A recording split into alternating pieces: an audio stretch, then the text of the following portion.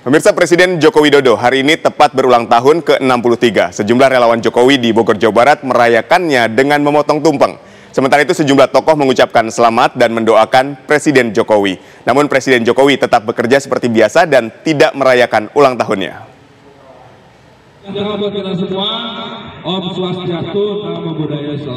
Relawan Jokowi Sebogor Raya merayakan ulang tahun ke-63 Presiden Joko Widodo di Tugu Kujang, Bogor, Jawa Barat, Jumat dini hari tadi. Ulang tahun ke-63 Presiden Joko Widodo dirayakan oleh sekitar 70 relawan Jokowi Sebogor Raya.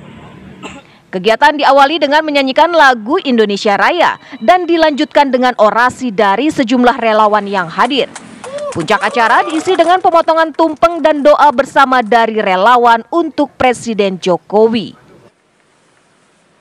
Yang jelas Jokowi jadi presiden atau tidak kita tetap bersama Jokowi.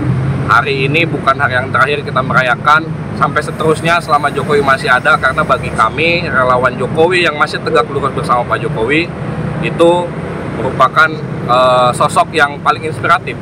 Artinya Pak Jokowi menjabat ataupun tidak, ke depan kita tetap akan merayakan hari ulang tahun bersama. Di media sosial, sejumlah tokoh mengunggah foto dan menyampaikan ucapan untuk Presiden RI Joko Widodo yang berulang tahun ke-63 pada hari ini. Presiden terpilih Prabowo Subianto dan mantan Gubernur Jakarta Anies Baswedan menyampaikan doa khusus untuk Presiden Jokowi.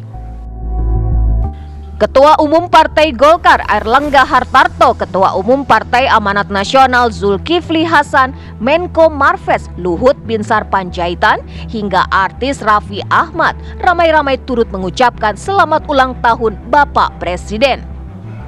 Namun, pada hari ulang tahunnya, Presiden Jokowi tetap beraktivitas dan bekerja seperti biasa di Istana Negara.